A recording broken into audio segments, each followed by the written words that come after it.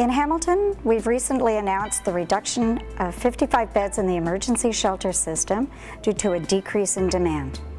But the reduction of emergency shelter beds is one part of a broader homelessness reduction strategy, a strategy predicated on the vision that everyone has a home.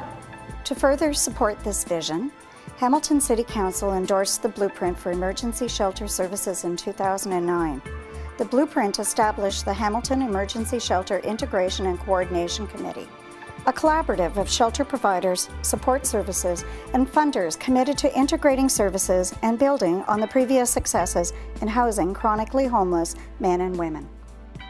Finding affordable housing is an important part of the equation, but so too are the supports to help people to be successful in their housing. And so the committee developed an integrated and mobile case management team, bringing together the previously fragmented work of case management throughout the system. Caseworkers, social workers, nurses, addictions workers, and recreation workers wrap services around the individual, helping them to ensure success in their housing.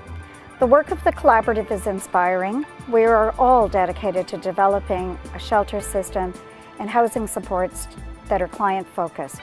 But the real heroes are those clients that have shown the strength and commitment to making real changes in their lives, and the staff who walk alongside them in supporting them with those changes.